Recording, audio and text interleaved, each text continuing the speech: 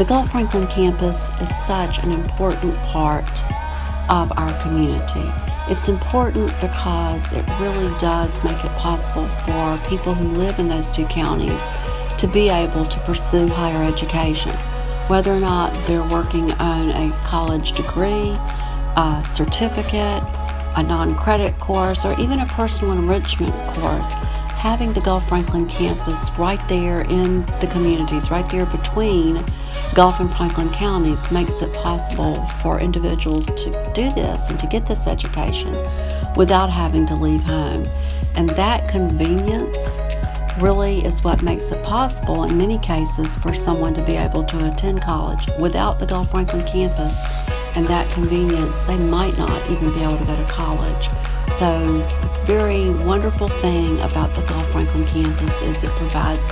opportunity and hope and changes lives in the communities that it serves.